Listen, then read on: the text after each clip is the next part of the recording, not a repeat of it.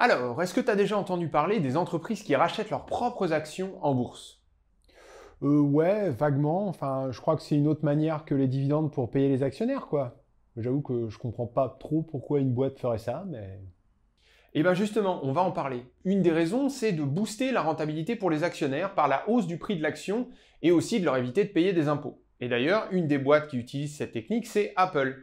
Son cours de bourse serait probablement 50% plus bas si l'entreprise n'utilisait pas cette tactique comptable. Une tactique comptable? Je vois pas en quoi racheter des actions serait une tactique comptable. La boîte achète ses actions, la demande est boostée, la loi de l'offre et la demande s'applique, euh, le prix de l'action monte, euh, voilà. C'est pas bien compliqué. Non, non, tu vas voir, c'est pas la loi de l'offre et la demande. Il y a bien une tactique comptable derrière tout ça. Et le boost de rentabilité pour les actionnaires n'est pas aussi évident que ce qu'on pense. Ce ne sont pas les actionnaires qui se font racheter leurs actions qui sont visés, mais au contraire ceux qui ne vendent pas. Hein? Qu'est-ce que c'est encore que ces conneries? Tu vas voir, tu risques d'apprendre deux, trois trucs. Let's see what you got. I'm sorry. You smell that? What is that? What? What's that smell? A cologne? No. Opportunity. No. Money. Okay. I smell money. Okay. Chris?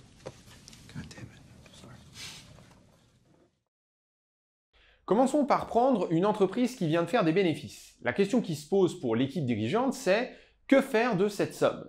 Des primes pour les salariés. Non, mieux, des augmentations de salaire. Alors oui, ce serait possible en théorie, mais les entreprises ne font en général pas cela pour deux raisons. Premièrement, d'après les règles comptables en vigueur, tout ce que possède une entreprise, depuis les usines jusqu'au cash sur un compte en banque, ne peut appartenir qu'à deux types de personnes. Les créanciers, ceux qui ont prêté des sous et peuvent donc prétendre à récupérer leurs dû, et les actionnaires, ceux qui ont investi et qui possèdent tout ce qui ne revient pas aux créanciers. Ainsi, les bénéfices du cash généré par l'activité de l'entreprise, rien à voir avec de la dette, ne peuvent appartenir qu'aux actionnaires. Et donc, si les bénéfices étaient utilisés pour rémunérer des salariés, eh bien comptablement, ce serait prendre aux actionnaires pour donner aux salariés. Alors, ça arrive, hein, les entreprises augmentent bien parfois les salaires ou versent des primes, mais les actionnaires n'aiment pas ça, car ils sont convaincus que les bénéfices sont à eux. Et les normes comptables en vigueur bah, vont dans leur sens. Ensuite, même sans tenir compte de la comptabilité, la norme managériale, les codes enseignés dans les écoles de commerce et de management, eh bien, c'est que le but de l'entreprise, c'est la maximisation du bénéfice pour l'actionnaire. Le travailleur est une ressource humaine qu'il faut acheter par le biais d'un contrat. Et si celui-ci n'est pas content de sa rémunération, eh bien, il est libre de partir. Le rôle de l'entreprise, c'est pas de l'émanciper ou de le rendre heureux, ni même de viser la justice sociale. Le rôle de l'entreprise, c'est d'enrichir l'actionnaire. Point. Eh ben, merci de me rappeler comment fonctionne notre monde. Il n'y a plus qu'à aller vomir un coup, puis après ça ira mieux. Donc, pour ce qui est de l'utilisation des bénéfices, les dirigeants considèrent deux options. Option 1, ils vérifient s'ils ne peuvent pas acheter de nouvelles usines, bureaux ou brevets, ou même lancer des recherches qui pourraient rapporter des bénéfices plus tard. Ils peuvent aussi éventuellement considérer des placements financiers qui eux aussi ont pour but de générer plus de bénéfices plus tard. Et puis option 2, ils considèrent de donner les bénéfices à ceux qui en sont propriétaires, les actionnaires. Et là, il y a deux méthodes, les dividendes et les rachats d'actions. Ok, jusque-là, je suis pas perdu. Si on lit entre les lignes, l'option 1 dit aux actionnaires, eh bien, faites-nous confiance, nous, l'équipe dirigeante de l'entreprise, nous savons quoi faire de votre argent pour vous en rapporter plus. En revanche, l'option 2 dit l'inverse. Un dividende ou un rachat d'actions, c'est un peu comme un aveu d'incompétence de la part de l'équipe dirigeante. Ne nous confiez pas les bénéfices qui vous reviennent. Nous ne savons pas quoi en faire, nous ne savons pas où les investir, nous ne savons pas comment grossir davantage. Donc, nous vous les rendons. Et comme ça, eh bien, vous en faites ce que vous voulez, vous redevenez responsable de votre argent. D'accord, ok, les boîtes filent des thunes aux actionnaires quand c'est le dernier recours, quoi. Mais alors, quelle différence entre les dividendes et le rachat d'actions? Dans les deux cas, c'est une manière de rendre les thunes aux actionnaires. Oui, mais il y a deux différences principales. Un, le rachat d'actions est une option plus flexible que le dividende. Et deux, si elle rémunère avec du cash ceux qui choisissent de vendre leurs actions, elle permet surtout de faire grimper le cours de bourse pour ceux qui ne vendent pas. Et ça, c'est bon pour l'actionnaire et pour le dirigeant d'entreprise. Ah bah voilà, bah c'est ce que je disais, si l'entreprise rachète ses actions, elle augmente la demande pour son propre titre et donc elle fait monter le prix. Non, c'est pas ça. Quoi, c'est pas ça? Le rachat d'actions, c'est pas la boîte qui rachète ses actions, je suis paumé. Si, si, mais le prix de l'action qui grimpe n'a rien à voir avec l'offre et la demande. Ah mais oui, tu me l'avais dit dans l'intro en plus. Tête en l'air. Mais du coup, je comprends pas trop pourquoi. On n'arrête pas de dire que les prix sur les marchés, c'est toujours une histoire d'offre et de demande. Et là, du coup, ce serait pas le cas? Alors, ouais, t'as raison, ça mérite quelques explications. Le prix d'une action en bourse est fixé par un jeu d'enchères perpétuel entre acheteurs et vendeurs. Et ce jeu d'enchères, joué par des financiers qui sont parfois guidés par des modèles d'anticipation, des ratios financiers, des contraintes réglementaires, de l'optimisme, du pessimisme, enfin un mélange de tout ça, peut emmener les prix en bourse un peu n'importe où. Donc oui, ce qui compte, c'est bien le jeu d'enchères perpétuel qu'est la bourse. C'est bien ça qui fait bouger les prix. En revanche, pour que les prix soient modifiés par un seul participant, il faut vraiment que ce participant soit dans le pétrin ou face à des contraintes réglementaires qui l'empêchent de faire dans la dentelle. Ce qui est loin d'être impossible, hein, ça arrive assez régulièrement, mais dans le cas d'une entreprise qui rachète ses propres actions, non, il n'y a, a, pas de raison. Regarde, pour qu'une boîte qui rachète ses actions fasse décoller le prix, il faudrait vraiment faire ça comme un bourrin. Genre se pointer sur les marchés et dire euh, Salut c'est moi, j'ai X millions d'actions à acheter, regardez comme je les achète toutes d'un coup pour bien bourrer les carnets d'ordre et faire gonfler la demande. C'est pas très très réaliste. La boîte est quand même conseillée par des pros, elle délègue le rachat à des banques qui vont faire ça tranquillement sur une période suffisamment longue pour ne pas impacter les cours. Et puis, même si c'était pas le cas, même si le rachat était mené sans aucune finesse, eh une fois toutes les actions achetées, que se passerait-il? Quand la pression acheteuse disparaît, le prix redescend à son niveau initial. Or, c'est pas ce qu'on constate. Le rachat d'actions provoque une hausse plutôt durable du cours de bourse. Ah mais oui, la boîte rachète, ça monte, mais elle arrête de racheter, ça baisse. Donc là, effectivement, il y a un petit mystère. Et c'est un tout petit mystère en fait, c'est juste un poil moins évident que cette histoire d'offre et de demande. Ce qui va compter, c'est un simple ratio financier. Si tu te rappelles de l'épisode sur Elon Musk et de celui sur l'efficience des marchés aussi, on avait dit que la méthode utilisée pour évaluer la valeur d'une entreprise, et donc l'une des méthodes qui drive le jeu des enchères qui fait les prix des actions, est basée sur les bénéfices futurs. Alors, en vrai, ce sont plutôt les free cash flow, donc en gros, les bénéfices moins les investissements. Parfois, on réduit ça aux dividendes, parce qu'une fois que les investissements sont payés, bah, ce qui reste normalement, c'est les dividendes. Bon, voilà, nous, on va partir sur les bénéfices parce que c'est plus simple. C'est toi le doc, doc? Bon alors, l'idée pour valoriser une action, c'est d'essayer d'anticiper les bénéfices que l'entreprise fera dans le futur et de diviser par le nombre d'actions. Il y a aussi une histoire de taux d'actualisation, je te laisse retourner voir les vidéos sur Musk et sur l'efficacité si tu veux en savoir plus, mais ici, on n'en a pas besoin. Le raisonnement est donc le suivant. Puisqu'en tant qu'actionnaire, en tant que propriétaire de l'entreprise, je suis propriétaire du morceau de bénéfices associé aux actions que je possède, et que je ne sais absolument pas de quoi demain sera fait, je ne sais pas quels seront les bénéfices futurs, eh bien je fais une simple division. Profit de l'année écoulée, meilleure indication de ce à quoi je peux m'attendre dans le futur, divisé par nombre d'actions existantes. Cela me donne un chiffre en euros qui correspond au bénéfice annuel inclus dans une action et donc au bénéfice supplémentaire que l'entreprise devrait être capable de générer l'année suivante et dont je serai aussi propriétaire. Et je vais utiliser cette mesure comme un indicateur de variation de prix. Si le bénéfice par action grimpe, c'est un signal qui indique que le prix de l'action devrait grimper aussi. Forcément, si l'action me permet d'être propriétaire de plus de bénéfices, alors sa valeur est plus importante. Et inversement, si l'action me donne droit à moins de bénéfices, alors sa valeur devrait être moindre. Ok, ok. On devrait prendre les bénéfices futurs, mais on ne les connaît pas, donc on prend les derniers bénéfices en date. Et on divise par le nombre d'actions, parce que ce qui compte pour évaluer le prix d'une action plutôt que le prix d'une entreprise, c'est combien il y a de bénéfices euh, emmagasinés dans les actions. Quoi. Ok, bon ça va, je suis. Et maintenant? Bah et maintenant, c'est tout, on a l'explication. Le rachat d'actions provoque la hausse du prix. Euh, non, alors moi j'ai pas fait la connexion là. Bah si, regarde, le prix de l'action va réagir, si le jeu des enchères ne fait pas complètement n'importe quoi, au montant des bénéfices divisé par le nombre d'actions. Du coup, j'ai deux manières d'augmenter le prix d'une action augmenter les bénéfices et ou diminuer le nombre d'actions, ben oui. Et voilà. En rachetant ces actions, l'entreprise diminue le nombre d'actions disponibles, donc elle fait grimper le bénéfice par action, et donc elle fait grimper la valeur de l'action. Enfin, si le jeu des marchés choisit de réagir à ce ratio, mais enfin en général ça marche quand même plutôt pas mal.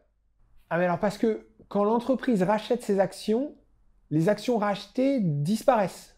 Ah bah oui, une entreprise propriétaire d'elle-même, ça n'a pas de sens. Les actions sont des titres de propriété. Soit les actions appartiennent à des actionnaires, à des vrais gens, soit elles n'appartiennent à personne et du coup, elles n'existent plus. Ah ouais, putain, c'est fou. Et ça donne quoi avec un exemple? T'avais pas parlé de Apple qui fait ça? Si, si, regarde, voilà un premier graphe qui te montre l'évolution du nombre d'actions Apple depuis fin 2006. On voit bien la cassure à partir de 2013. Hein. Entre 2006 et 2013, Apple émet de nouvelles actions au rythme moyen de plus 1,6% par an. Sûrement plus des histoires de stock options pour rémunérer certains employés que de véritables émissions d'actions auprès du grand public. On parlera des stock options un petit peu plus tard, t'inquiète pas. Et puis en 2013, Apple se met à racheter ses propres actions au rythme de 5,2% par an. On passe de 26,5 milliards d'actions en 2013 à 16,8 milliards aujourd'hui. Ok, d'accord. Ouais, c'est assez net, effectivement. Maintenant, deuxième graphique, voici l'évolution des bénéfices annuels de Apple. Tu peux voir qu'au moment où le rachat d'actions débute, l'entreprise voit la croissance de ses bénéfices fortement ralentir. On était dans une phase exponentielle de croissance à partir de 2013, et c'est une phase beaucoup plus linéaire qui démarre à partir de là. Ouais, enfin linéaire, euh, avec un énorme saut vers le haut récemment, là. C'est quoi cet immense jump de bénéfices en 2020 C'est le Covid? Oui, oui, c'est l'effet Covid. Les gens sont équipés ou rééquipés avec le confinement. Beaucoup d'entreprises du monde de la tech ont connu de très fortes ventes et Apple n'a pas fait exception.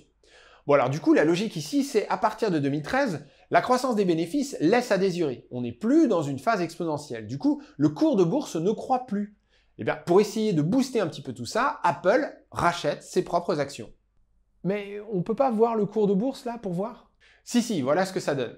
On voit un ralentissement autour de 2012-2013. Et pour mieux se rendre compte, ce qu'on peut faire, c'est simuler le cours de bourse de Apple en imaginant ce qui aurait pu se passer si la boîte avait continué sur sa lancée en émettant régulièrement des actions, comme ce qu'elle faisait avant 2013. Il suffit de faire un simple produit en croix, en fait. Et voilà ce que ça donne. A priori, en partant du principe que le prix de l'action Apple dépend uniquement du ratio bénéfice par action, et en imaginant que Apple ne s'était pas mise à racheter ses propres actions de manière régulière depuis 2013, le cours de bourse serait aujourd'hui 45% plus bas, autour de 75 dollars l'action au lieu de 140. Wow, ouais, ça fait quand même une sacrée différence. Mais alors, ok, ça fait grimper le cours de bourse de racheter ses actions, mais concrètement, comment ce truc-là est profitable aux actionnaires? Je veux dire, à ceux qui vendent pas leurs actions au moment du rachat. Parce que, ok, si je vends pas, je vois le prix de l'action monter. Alors, c'est cool forcément, je me sens plus riche quand la valeur de ce que je possède grimpe. Mais d'un autre côté, un dividende ou me faire racheter mes actions, c'est une véritable distribution de cash.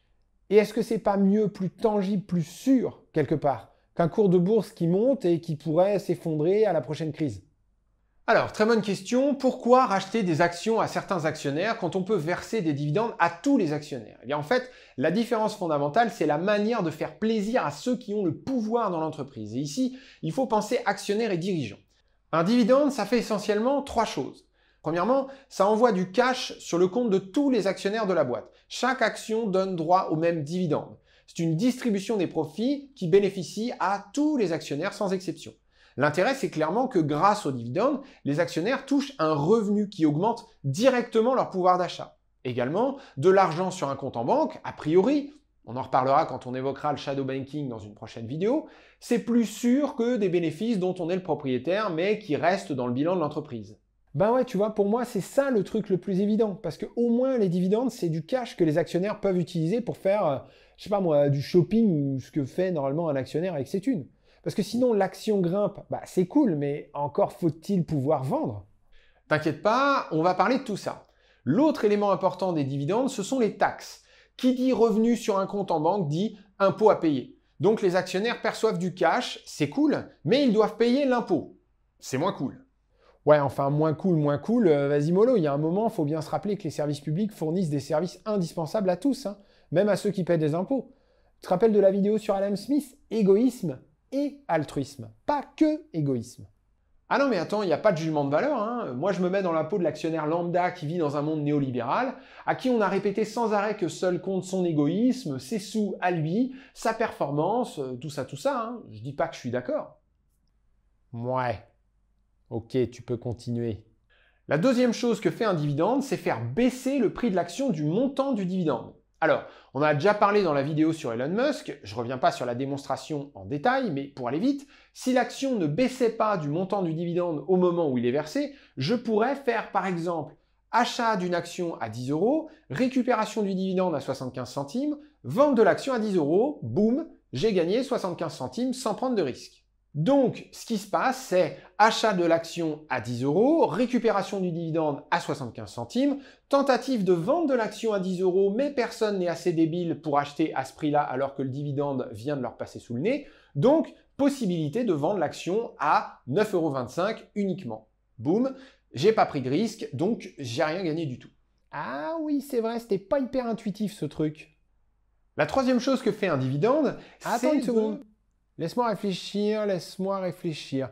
Dans ta vidéo sur Elon Musk, tu avais dit que les dividendes enrichissaient les actionnaires parce que, ok, le dividende fait baisser le prix de l'action, mais du cash sur un compte, c'est quand même plus sûr qu'un cours de bourse incertain. Donc, en gros, la richesse créée par le dividende, c'est un morceau de certitude. On passe d'une action dont la valeur est incertaine à une action dont la valeur incertaine est un poil plus basse et des thunes certaines sur un compte. Ouais, c'est ça. Là, ça me fait plaisir que tu t'en souviennes, tu vois. Mais alors, du coup, il y a un truc qui cloche là. Comment ça?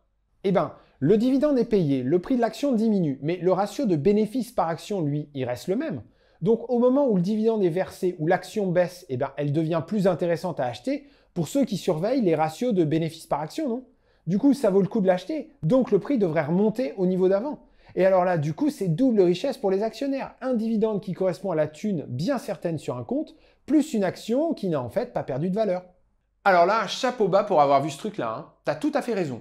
Mais tu raisonnes de manière trop certaine. Ta démonstration est juste, mais autant la baisse du prix de l'action aura forcément lieu au moment du versement du dividende, sinon il y a arbitrage et les marchés sont de magnifiques machines à supprimer les arbitrages, voir la vidéo sur l'efficience ou celle sur le pétrole, autant la hausse du prix après le versement n'est pas certaine.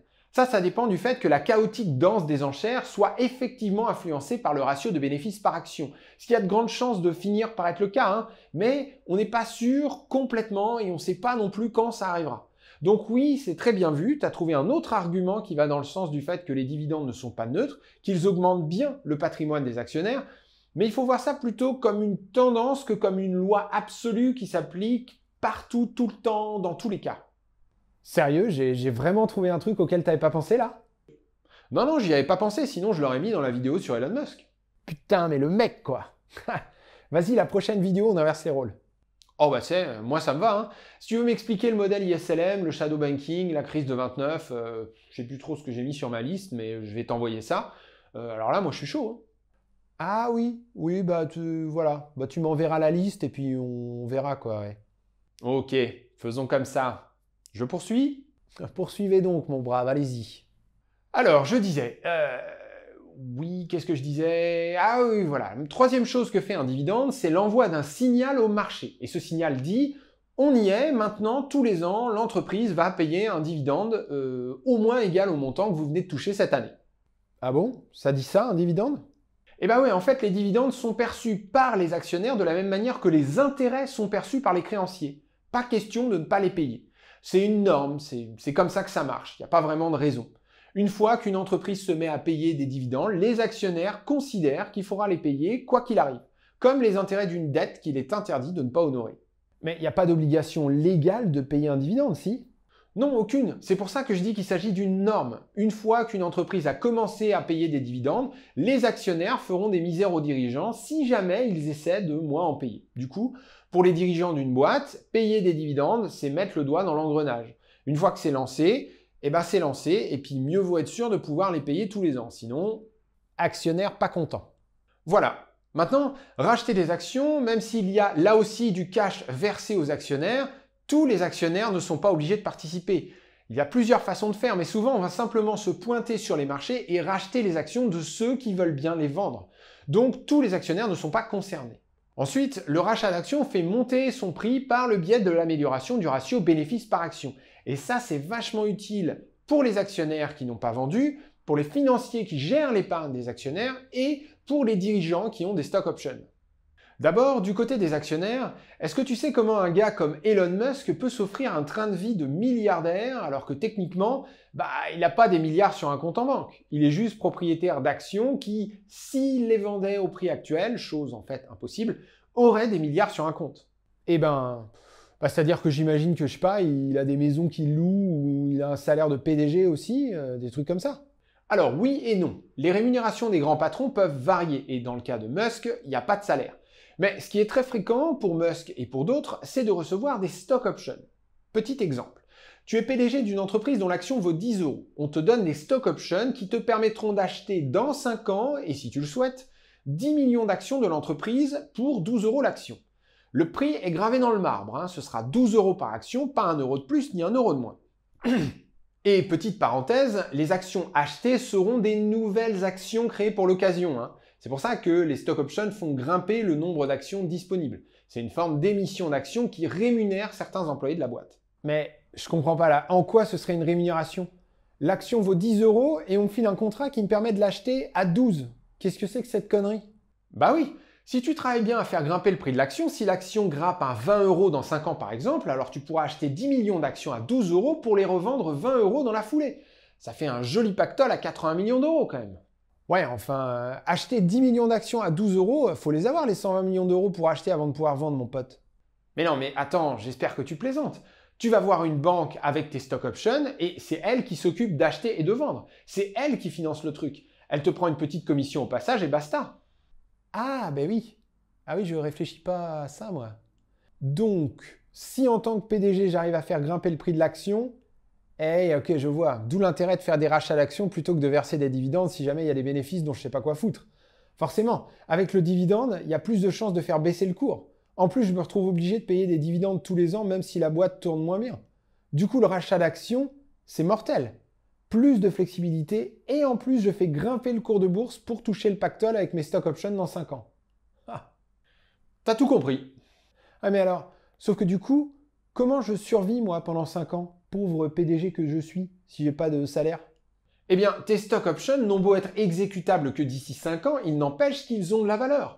Donc tu vas voir une banque, tu mets tes stock options en garantie et tu te chopes un superbe crédit à taux très avantageux d'un montant qui correspond à, disons, je sais pas moi, 30% de la valeur des stock options. Un crédit sans obligation de rembourser le principal tous les mois, évidemment, juste les intérêts. Et puis tous les six mois, par exemple, eh bien, on réévalue la valeur des stock options. Si tu gères bien ta boîte, le prix de l'action monte, donc tu peux emprunter encore plus. Si ça baisse, bon, bah, t'avais emprunté que 30% de la valeur des stock options, donc voilà, tu négocies des intérêts un petit peu plus élevés, et puis le jour où tu peux toucher le pactole, eh bien, tu rembourses les 30% que tu dois et tu gardes les 70% restants. Ou alors même, tu ne vends pas les actions auxquelles tu as le droit, tu restes actionnaire et tu continues avec la méthode du crédit. Sauf qu'au lieu de déposer tes stock options en garantie, bah, tu déposes tes actions maintenant. Oh. Oh, j'ai des frissons rien qu'à y penser. Ça me semble tellement incertain et balèze à gérer et presque précaire. Ah bah, c'est pas une partie de plaisir, hein, ça c'est sûr, mais c'est pas toi qui t'en occupe, hein, t'inquiète. T'as une armée de financiers et de juristes pour faire ça à ta place. Ils font en quelque sorte partie des intérêts à payer. Et comment je les paie, les intérêts? Hein Eh bien, la somme que tu empruntes est suffisante pour payer et ton train de vie luxueux et pour acheter des maisons que tu loues ou des produits financiers qui rapportent des intérêts tu vas pouvoir utiliser ces loyers et intérêts pour payer les très faibles intérêts du crédit et pour payer tes conseillers. Et puis aussi, si tu es PDG, il y a de grandes chances pour que tu sois déjà riche même avant d'avoir obtenu des stock options ou des actions. Donc tu as déjà des revenus du capital qui te permettent de te payer pas mal de services. Oh la vache C'est tellement différent de la réalité du commun des mortels. Bon, et puis dernier avantage, bah, pas d'impôt sur le revenu ou très peu. Puisque ton train de vie est financé par du crédit bancaire, de la planche à billets, eh bien, tu ne dois quasiment rien au fisc. Ah bon?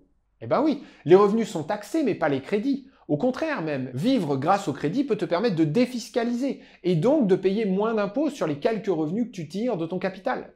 Ce qui nous amène aux gros actionnaires, des particuliers très aisés. Eux aussi peuvent vivre de cette manière, en empruntant à la banque à partir de la valeur des actions qu'ils possèdent. Donc eux aussi sont ravis quand, plutôt que de verser un dividende qui de toute manière sera taxé, l'entreprise rachète des actions.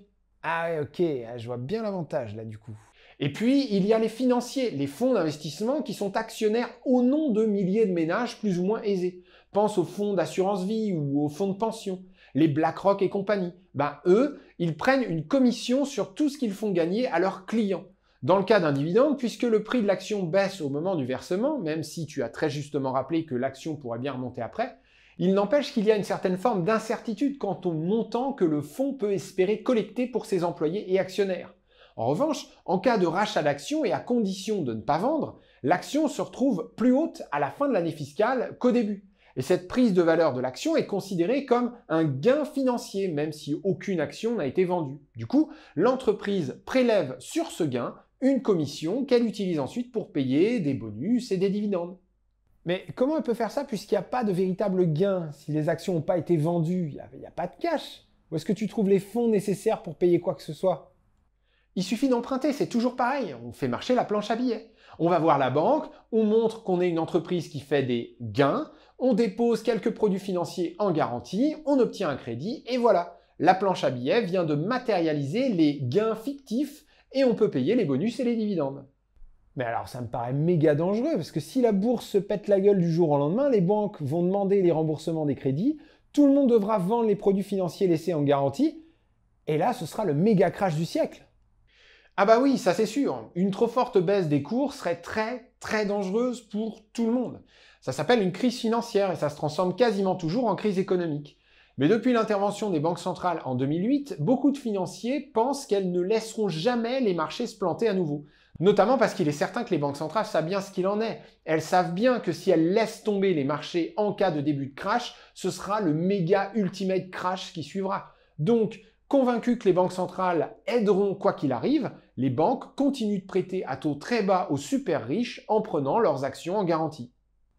Oh là là, mais ce château de cartes, mon pote. Donc tu vois comment beaucoup de monde a intérêt à privilégier la hausse du prix de l'action, donc le rachat d'actions, plutôt que le versement de dividendes. C'est parce que le niveau de vie des principaux intéressés, les grands managers, les grands actionnaires, les grands fonds d'investissement, est indexé sur le prix des actions. Oh, c'est quand même ouf. J'avais jamais entrevu que ça pouvait fonctionner comme ça. hein. Mais alors, il doit bien avoir des inconvénients à acheter les actions plutôt qu'à verser des dividendes, non? Sinon, il y aurait que des rachats d'actions et pas de dividendes. Oui, alors premièrement, le choix entre verser des dividendes et racheter des actions, c'est pas que une histoire de ratio financier, de calcul et de rationalité parfaite. hein. Je te rappelle que la bourse, c'est avant tout une danse des enchères parfois très chaotique. Tout dépend toujours du contexte, de qui sont les gros actionnaires, de qui sont les dirigeants, de comment ils s'entendent, de quel secteur on parle, etc. Tu vas avoir par exemple des notions de mode du moment ou de conservatisme qui entrent en jeu. Une entreprise qui a toujours versé des dividendes et qui voudrait passer au rachat d'actions, bah, ça peut être perçu comme un move plutôt cool, dans l'air du temps. Ou au contraire, ça peut être très mal interprété juste parce que c'est nouveau. Il est aussi important de voir que les entreprises sont influencées par ce que font leurs concurrents. Si dans tel secteur, les boîtes versent plutôt des dividendes, eh ben, c'est pas forcément évident de faire différemment. Encore une fois, ça pourrait être mal interprété par les actionnaires. Certains fonds d'investissement ont aussi des stratégies affichées où ils recherchent les entreprises qui versent des dividendes.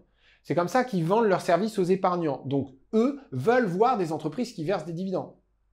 Et puis, tu as aussi certains actionnaires qui aiment les dividendes parce que c'est une certitude, c'est du cash plutôt qu'une hausse de prix de l'action potentiellement instable. Si une peur d'un retournement des marchés se propage, par exemple, eh bien, les financiers peuvent être amenés à préférer les entreprises qui versent des dividendes ce qui pour le coup ferait monter le prix de leur action en plus de payer des dividendes. Bref, donc comme d'habitude, c'est compliqué. Ok, ouais, je vois. C'est presque une histoire de, de sociologie des marchés, là. Oui, c'est un peu l'idée, il n'y a pas que du technico-financier. Ensuite, la limite évidente au rachat d'actions, c'est eh ben, c'est le nombre d'actions disponibles. La quantité d'actions qu'une entreprise peut racheter est forcément limitée par le nombre d'actions existantes. Par exemple, entre 2013 et 2020, Apple a racheté un peu plus de 8 milliards d'actions, soit en moyenne 1,2 milliard d'actions par an. Comme il y a aujourd'hui 16,8 milliards d'actions Apple existantes, eh bien Apple ne peut pas poursuivre sa politique sur beaucoup plus qu'une dizaine d'années, sinon après, eh ben il n'y a plus d'actions. Ah mais oui, mais c'est évident, bordel. Et Apple pourrait pas émettre de nouvelles actions pour pouvoir ensuite en racheter? Si, mais ça n'aurait aucun sens. Émettre des actions sert à lever des fonds. Mais lever des fonds pour faire quoi? Si Apple rachète ses actions, c'est bien parce qu'il y a un trop plein de bénéfices dont on ne sait pas quoi faire. Je te rappelle que d'abord on regarde si les bénéfices peuvent être investis de manière rentable et si c'est pas le cas, alors on a le choix entre le versement de dividendes ou le rachat d'actions. Mais alors on pourrait émettre des actions pour collecter les fonds nécessaires à leur rachat. Non mais là, ça ne ferait pas bouger le prix de l'action. Regarde, on reprend le ratio de bénéfices par action. Apple émet des actions sans proposer de projet pour faire plus de bénéfices. Donc, ce qui change dans le ratio, c'est le nombre d'actions qui grimpe. Donc, l'émission de nouvelles actions fait baisser le prix. Et puis après, Apple utilise le cash pour racheter les actions émises. Le nombre d'actions baisse, le ratio augmente, le prix remonte à son point initial. Ah ok, ah c'est une connerie. Mais alors, moi j'avais entendu dire que certaines entreprises pouvaient carrément s'endetter pour acheter leurs actions. C'est vrai ça? Oui, complètement. Et là, pour le coup, en plus de tout ce qu'on a expliqué avant, il y a une notion de gestion de l'effet de levier de l'entreprise qui entre en compte. Oula, l'effet de levier. Euh, je sais qu'on a fait une vidéo, mais... T'inquiète pas, on va reprendre tout ça tranquillement avec un exemple. Si je représente par ce rectangle la valeur de tout ce qu'une entreprise possède, usines, bureaux, brevets, etc. Ce patrimoine appartient à deux types d'investisseurs. Les créanciers d'un côté, leur revient exactement la somme qu'ils ont prêtée, et les actionnaires de l'autre, leur revient euh, tout le reste. Donc là, on part d'une entreprise qui possède un patrimoine de 100, il y a 60 qui reviennent aux créanciers parce qu'ils ont prêté 60, euh, et il y a 40 qui reviennent aux actionnaires parce qu'ils ont investi 40. Non, non, pour les créanciers, oui, il leur revient bien 60 parce qu'ils ont prêté 60. Mais les actionnaires n'ont pas forcément injecté 40. Ils ont injecté n'importe quoi entre 0 et plus l'infini. Parce que ce qui appartient aux actionnaires, c'est leur mise de départ plus la somme des profits ou des pertes accumulées. Donc peut-être que les actionnaires ont injecté 10 et que les 30 qui restent, ce sont des profits accumulés au fil du temps, qui ont servi à acheter plus de bureaux, d'usines, de brevets, etc. Mais peut-être aussi qu'ils ont injecté 70 et que la boîte a accumulé 30 de pertes. Du coup, il reste plus que 40. Tu vois le truc? Ah, mais oui, ok, parce que justement, c'est quand la boîte perd tout ce que les actionnaires possèdent qu'elle fait faillite. Une des deux formes de faillite, oui, faillite comptable, insolvabilité. Mais c'est pas la seule forme de faillite, il y a aussi l'illiquidité, un je ne peux plus payer mes factures. Bref, reprenons notre exemple. Imaginons que l'entreprise fasse un bénéfice de 10 on a 10 de cash qui s'ajoutent aux possessions de l'entreprise et également 10 de bénéfices non distribués qui viennent s'ajouter dans ce que les actionnaires possèdent. Maintenant, petit calcul. Avant les bénéfices, les actionnaires possédaient un morceau de l'entreprise dont la valeur comptable était de 40. Et ils ont gagné 10 de bénéfices. Bénéfices non distribués, il n'y a pas eu de dividende de payer. Mais c'est quand même des bénéfices qui leur appartiennent. Donc, rentabilité de l'affaire, 10 de bénéfices divisé par 40 égale 25%. Ok, ouais. Maintenant, mettons que les 10 de cash de l'entreprise, les bénéfices non distribués, permettent d'acheter plus d'usines, de bureaux et de brevets qui devraient rapporter 1 euro de bénéfices l'année prochaine. On est d'accord que la rentabilité de l'entreprise n'a pas changé. Avant, il y avait 100 d'actifs qui rapportaient 10, maintenant il y a 110 d'actifs qui devraient rapporter 11. C'est toujours du 10% de rentabilité. Ouais. Bon, mais la rentabilité future des actionnaires, elle, elle va baisser. Parce que 11 euros de bénéfices dans un an divisé par les 50 qui appartiennent aux actionnaires actuellement, eh ben ça fait 22% de rendement. Un peu moins que les 25 de l'année précédente. Ah merde Et voilà une des raisons qui, dans notre monde actuel, pousse les entreprises à sans arrêt accroître leur rentabilité. C'est pour que la vitesse d'enrichissement des actionnaires reste constante. Du coup, quoi Il faut trouver des projets plus rentables? Oui, ou couper des coûts, baisser les salaires, virer du personnel, trouver des fournisseurs moins chers, ce genre de trucs. Mais il y a une autre option, le rachat d'actions par la dette. Euh, oula, quoi? Eh ben oui, regarde, l'entreprise s'endette à hauteur de 10 par exemple. On a donc 10 de dette qui s'ajoutent au bilan et 10 de cash qui arrivent sur le compte de l'entreprise. Le cash sert à racheter des actions, donc ce cash disparaît des possessions de l'entreprise. Mais également, comme certains actionnaires abandonnent la propriété de certains de leurs titres, eh bien il faut enlever 10 à ce que les actionnaires possèdent. Ah ok, et la rentabilité de la boîte passe à 11 divisé par 40 égale 27,5%, et du coup c'est même mieux qu'avant. Oui, alors, il faut quand même tenir compte du coût de la dette. L'entreprise a emprunté 10, il va bien falloir payer un intérêt aux créanciers. Si on imagine que cet intérêt est de 1%, les taux sont très très bas, la rentabilité de la boîte pour les actionnaires, c'est 11 moins les intérêts, 0,1, divisé par 40, égale 27,25. Donc effectivement, on améliore la rentabilité de la boîte sans avoir pourtant trouvé des projets plus rentables. On a juste remplacé des actionnaires qui coûtent cher, ils veulent des rendements ici supérieurs à 25% par an, par des créanciers qui, eux, ne prennent que 1% d'intérêt. Ah, mais c'est mortel comme technique C'est pas du tout ce que je pensais alors attention, hein, augmenter l'effet de levier de l'entreprise en remplaçant des actionnaires par des créanciers, c'est pas un truc anodin. Parce que, rappelle-toi, faillite comptable, moins la boîte appartient aux actionnaires, moins elle est capable d'encaisser des pertes avant de faire faillite. Donc, faut avoir un minimum confiance. Oui, ok, c'est tout le problème des banques, notamment, qui fonctionnent avec des effets de levier de dingo, quoi. Voilà, donc attention à bien faire la différence entre rachat d'actions d'une entreprise qui choisit cette méthode à la place du dividende, je ne sais pas quoi faire de mes bénéfices et donc je choisis la hausse du cours de bourse plutôt que de verser du cash à tous les actionnaires, et le rachat d'actions par l'endettement qui correspond davantage à un mes actionnaires me demandent trop de rendement, j'arrive pas à suivre, je vais les remplacer par des créanciers qui coûtent moins cher. Et au passage, je fais grimper le cours de bourse, donc c'est cool pour mes stock options et compagnie, euh, voilà. Ok, ouais. Et alors attends, parce que si on rachète les actions avec des bénéfices plutôt qu'avec de la dette, il n'y a pas d'histoire euh, d'effet de levier aussi? Non, là, l'effet de levier n'est pas affecté. Je te le fais vite fait. 100 d'actifs de la boîte, 60 de dette, 40 qui appartient aux actionnaires. La boîte gagne 10 de cash par des bénéfices. Ce qui appartient aux actionnaires grimpe à 50. La boîte utilise les bénéfices pour racheter des actions. Le cash est transféré à certains actionnaires qui du coup n'en sont plus. Et les actionnaires restants ne possèdent plus que 40. On repasse à 60-40 comme au début. L'effet de levier est maintenu. Ah oui, ok. Donc maintien du statu quo, effectivement. Ok, alors faisons un petit récap de tout ça. Une entreprise qui fait des bénéfices dans notre monde néolibéral est persuadée que la meilleure utilisation de cet argent doit aller dans le sens de l'enrichissement des actionnaires. Il y a donc deux options. Soit on réinvestit les bénéfices dans de nouveaux projets, soit on donne les bénéfices aux actionnaires sous la forme de dividendes ou de rachat d'actions. En général, on a tendance à penser que le rachat d'actions est une technique similaire à celle du dividende, mais on se trompe. Le rachat d'actions, outre le fait qu'il rémunère effectivement ceux qui vendent leurs actions pendant le rachat, est plutôt destiné aux actionnaires qui ne vendent pas leurs actions et qui vont du coup bénéficier d'une hausse du prix de l'action. Pourquoi le rachat d'actions fait-il grimper le prix de l'action? Eh bien parce que le prix est théoriquement, si la danse chaotique d'offres et de demandes au sein des marchés décide de ne pas faire n'importe quoi, lié au ratio de bénéfices par action. Il y a donc deux manières de faire grimper un cours de bourse plus de bénéfices et ou le rachat d'actions par l'entreprise qui les a émises, c'est-à-dire moins d'actions disponibles.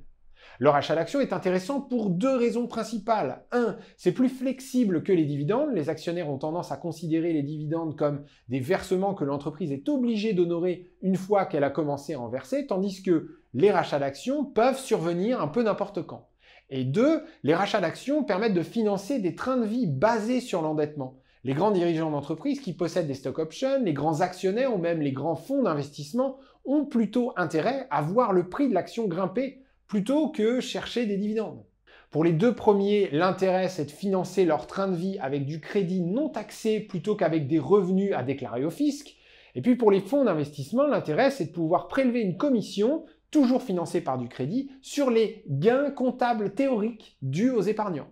Le rachat d'actions est aussi intéressant à condition qu'il soit réalisé avec de la dette pour augmenter l'effet de levier d'une entreprise. L'idée c'est de remplacer des actionnaires qui demandent des rendements délirants par des créanciers qui, eux, demandent des intérêts très faibles, surtout en ce moment.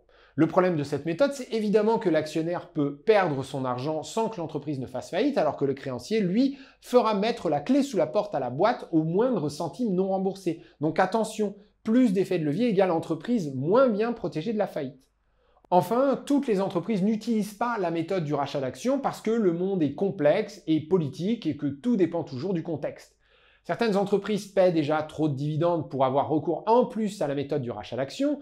Certains actionnaires n'aiment pas vivre à crédit en utilisant leur patrimoine comme garantie. Certains financiers vendent la stratégie de la recherche des dividendes aux épargnants, etc.. Ce qui est sûr, c'est que la technique du rachat d'actions par l'entreprise qui les a émises est forcément limitée dans le temps. Parce que forcément, à force de racheter des actions et donc de les faire disparaître, eh bien, à un moment donné, il n'y a plus d'actions. Et ça, c'est impossible, parce qu'il faut bien que quelqu'un soit propriétaire de l'entreprise.